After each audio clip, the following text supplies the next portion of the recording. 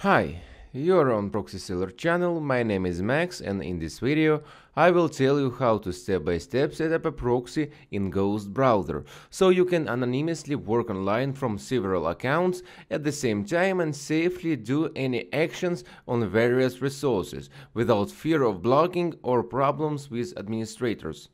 At the beginning, you need to install Ghost Browser. To do this, you can use official website ghostbrowser.com. In download section select browser version that suits you, download and install browser. When it's done, open Ghost browser. In the upper right corner of your browser, find Ghost Proxy Control icon and click on it. Then click Add Edit Proxies. This is required in order to add your proxy. In the Proxy Control panel, look for Add Bulk Proxies tab and click on it. In the window that opens, select Export Sample Files. Below in the same window there is an explanation how to enter proxy address correctly into the file for proxy, which was automatically downloaded on your computer when you clicked on export sample files. At the bottom of Ghost browser you can see this file. Let me clarify important point. Yes, it is described in the browser instruction, but I will say it again so that you won't have any difficulties. The file you downloaded has CSV extension. This extension should remain. Do not change it or save it with XLS or XLSX extension. Now open file. Here as you can see it is empty. Above is written how you need to enter proxy. Custom name is the name of your proxy. You can specify at your discretion and if you do not have one then do not specify anything. Start immediately with IP and Ghost Browser will give each proxy a sequence number. Specify IP and port separated by commas, login comma, password comma and so on. If you have notes about this proxy you can specify. Let's say binding by location or country. If not, leave the field blank.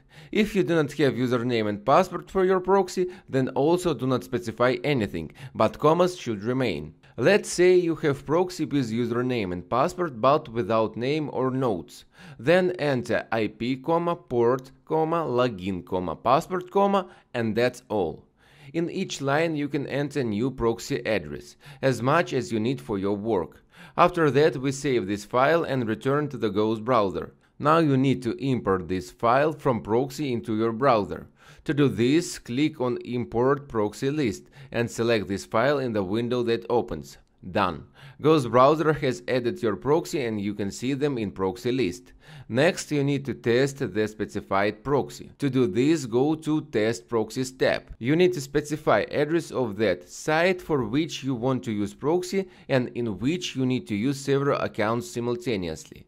Once you have specified the address, click Test. In the window that opens at the top, information about your proxy will appear in context of this site. This test will show how many of those proxies you have specified are not suitable for work on this resource and will offer to disable them. By clicking on OK, you disable those proxies that are not suitable for using. This means that you need to set other proxies and repeat the same procedure. And if you're looking for proxies which will be 100% efficient, I recommend your reliable proxy service proxyseller.com.